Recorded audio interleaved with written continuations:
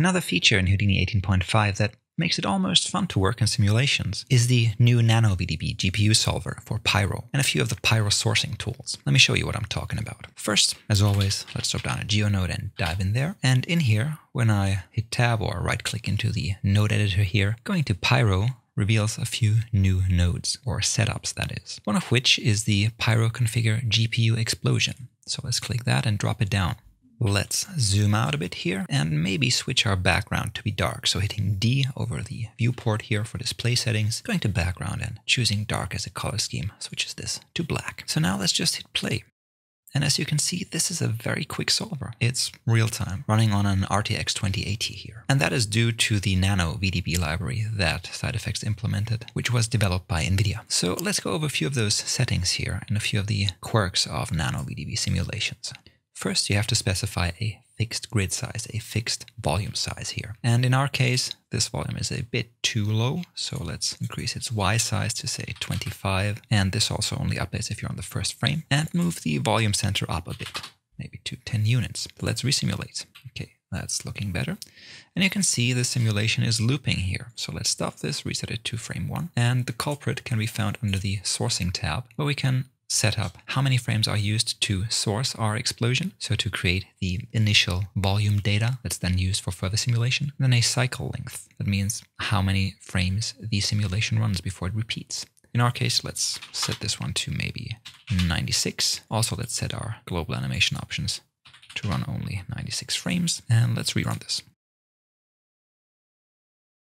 So yeah, now you can see only one simulation pass happening. This is fully running on the GPU, so if you want to increase this simulation's resolution, what you could do is dial back the voxel size. Before I do that, let's make sure in the display options, again, D over the viewport, to set the texture resolution under the texture tab and uncheck limit texture resolution. Houdini treats these viewport volumes as three-dimensional textures and in order to run quicker, it tries to limit their resolution when displaying them just to give you faster feedback. However, as we want to see the detail, let's disable that resolution limit now and dial back our voxel size to 0.05, increasing our voxel count eight times. And you can see now this is running a good bit slower, although exhibiting a bit more detail. And I'm not sure if I've got enough VRAM for this. Let's just try, but save before we try. So let's try halving this resolution again. Now you can see this is the OpenCL error message that we're running out of VRAM. So let's clear this and maybe try something like 0.04, which seems to work. So let's try 0.03, which now doesn't work anymore. So 0.04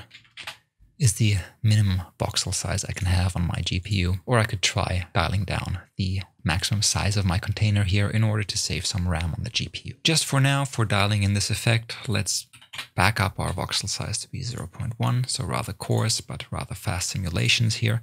And what I want to point out is the way the explosion is sourced here. That means the way the initial explosion, the initial explosion data is created. That is using the PyroBurst source, which is a new node in Houdini 18.5, which creates this bunch of particles here, which stores, in this case, when you click on burst components, two attributes, one called burn and the other one called temperature, which is then rasterized into a volume here using the volume rasterize, which we already know, which then is being fed into our Pyro solver as initial data. So let's just have a look at this one here, switch on real-time toggle, hit play, and you can see this is just a burst of points scaling up. You can dial in the shape of this burst using the burst shape and burst animation settings here. So for example, the initial size, well, it just scales the overall burst. Then we can get in a directional vector, just telling us in which direction to point this burst.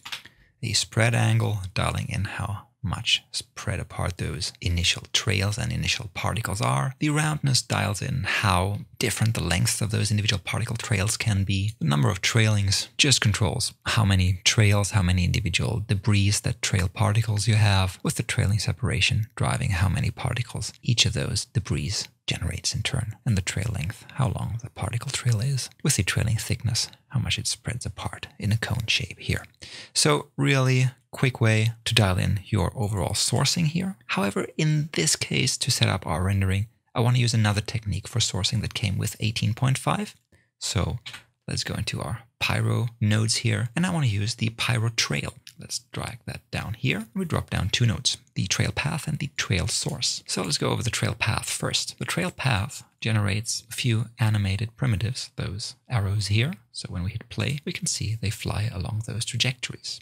And as you'd expect, the trail path has a really nice set of controls to set up those trajectories, controlling how those individual arrows move here. And I think I might have set my trail length too briefly. So let's increase the trail duration here, something like this. And the trail source takes in those individual animated arrows here and rather similarly to the pyro burst source generates those individual particle trails, which we can then wire into the volume rasterize attribute to create our initial simulation data. In this case, I don't quite like this kind of fireworky effect this results in here, so I'd rather set my trail path here under the source tab to be a line shape. And I think SideFX intended them for mushroom clouds or the likes thereof, so really giant explosions. However, with a bit of tweaking, we can get them to be more like a flamethrowery directed smoke or flame thing. So let's dial this in quickly and I'll just fast forward through this. Yeah, maybe something like this. So let's take this and pipe it into the volume rasterize attribute. And again, this expects those two attributes called temperature and burn. So let's set those up on the trail source here, which hides in the trail components here and by default is set to generate density. However, we want to generate a temperature, set this to one and add another source attribute here, second tab here, just check create source and set this one to burn. So now if we middle mouse on it, we can see temperature and burn being created. So let's wire this into the volume rasterize attributes here and hit play. And yes, we can see those trails are being created as a volume as well. Okay, all good. Let's highlight our Pyro solver and immediately you will see that when I ghost my trail paths, my volume here isn't big enough for this simulation. So in the Pyro solver tab, let's maybe increase this to 40 units and decrease the maximum size along X and Z and move this up a bit. Maybe like so. All right, let's simulate. And that is some nice flamethrowery dragon fire spit there. However, I want this to be more abstract. So what I'll do is I will head into the PyroSolver settings and I'll be tweaking some of the settings found under the solving tab, namely in the shapes tab here, which are the trusty old settings that you know from your PyroSolver here. All right, well, let's just tweak them and I'll fast forward through this again.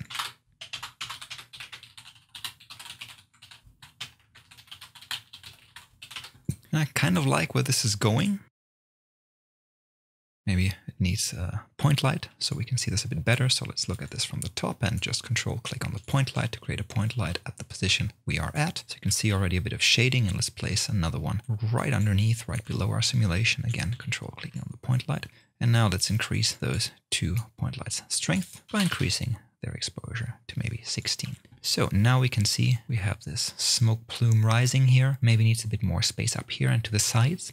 However, what I like to do at this point is switch my solver. So I've got the overall shape dialed in. And now to generate my smoke simulation in its final resolution, I want to go back in here and switch this solver under the solving advanced tab, make sure my solver is reset and uncheck minimal OpenCL solve, which now means we switched back to Houdini 18's sparse volume solver, which is not as fast as the minimal OpenCL solve, but will A, run sparsely and B, on the CPU, so it can cope with way higher volume resolutions and thus way more detail. So let's dial back our voxel size to say 0.02 and hit simulate. And this will take a while. As you can see here, it's by no means fast, but you will be rewarded with a way more detailed, way more intricate simulation later.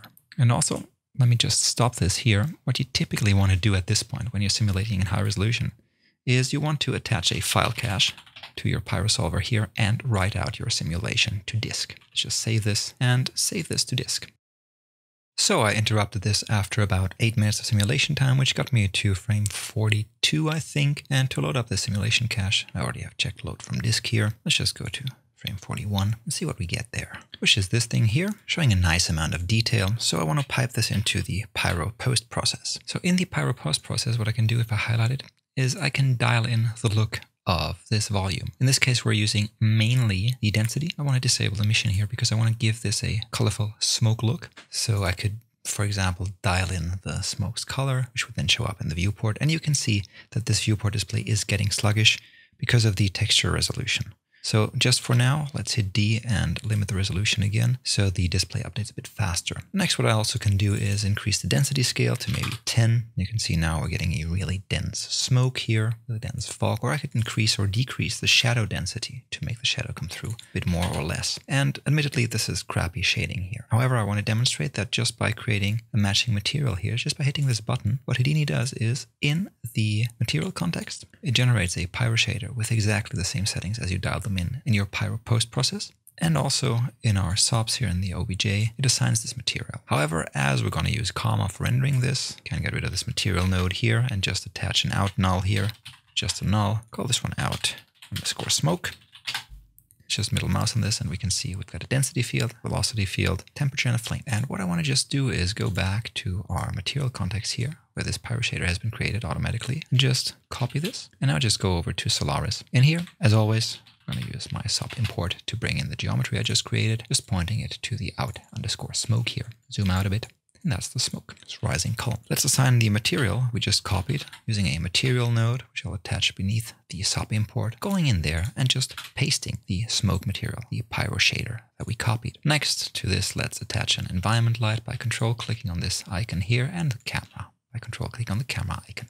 In the environment light, let's just assign an HDR to the texture slot, hiding under the base properties here. So let's just select an HDR. In this case, something I downloaded for free. Let's just make sure we have the camera locked to our viewport so we can zoom in a bit in here, which looks really coarse currently. Let's just switch over to Karma and let it crank at it. And you can see this is a really thin smoke, looking quite brownish. So let's address those issues and fix a few of those. As always, I want to use a Karma render properties node to set up the Karma rendering here. Namely, in this case, under the limits tab, I want to increase the volume limit to 2. So volume now has GI.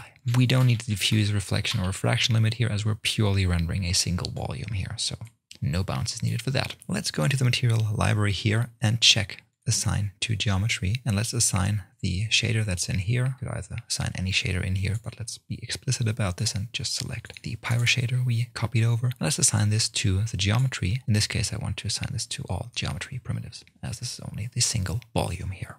So now you can see those settings in my shader with the increased smoke density transport over nicely and result in this thicker smoke here. Let's increase our dome light intensity to maybe 10 to make the smoke a bit more pronounced. And now what I'd like to do is I'd like to use my density to drive the color of the shader here. And although I could create another color volume from the density, there's in my opinion a more elegant way, which consists in hacking this pyro shader. So let's dive into the material library and on this pyro shader here, let's just right click and go to allow editing of contents, which will open up the shader for us to dive in. I want to zoom in on this area here, which drives the smoke's color as we can see here. And what it does is it checks if a switched called tint with CD is checked. And if a color volume called CD is present, then it allows the coloring. So let's modify this. And instead of binding that means importing a color volume called CD here. Let's bind a single float called density which we know is present because we have a density in this smoke field here. But also, let's take this density value, this density float, and use a ramp parameter node set to RGB and wire this in between the bind and the multiplication node here. What that allows us is to generate a color off of this density value here using this ramp here. So let's get up one level and on the pyro shader itself, let's check tint smoke color with CD while setting the smoke color to white because it's multiplied in our color that we're creating using this ramp. So let's drag this down and down here our ramp has been created. So let's see if that worked and assign a density value of 0, a bluish color. Uh-huh, looking good. Then maybe about here, let's assign this a purple, reddish, pinkish color like so, going into a yellow, orangey color, and then into a bright yellow color like this maybe. And that's already looking promising. This might need a few tweaks down here in the color range, position and color wise, as well as in the density scale. Maybe let's make this a bit thicker, a bit more dense by giving it a scale of 20. But overall, that's a starting point from which I'll continue shading and creating this colorful smoke image that you've seen in this video's title. Let's just sum this up. So this is not new in 18.5, but we can hack the pyro shader to give us colors from a density ramp, which is really useful in some circumstances. But also, in our standard SOP context, we have a few new exciting pyro tools here, namely the Nano VDB GPU solver, which basically allows you to solve low-res smoke sims in real time. to dial in their general overall shape, and then when you're ready to fully simulate them, switching to more traditional methods of simulation.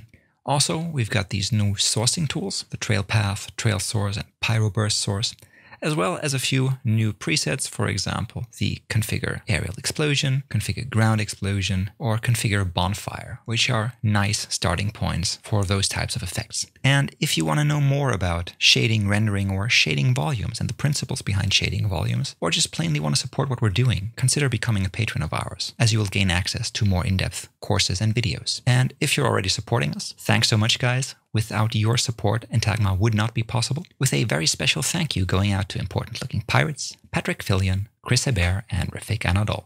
Thanks so much, guys.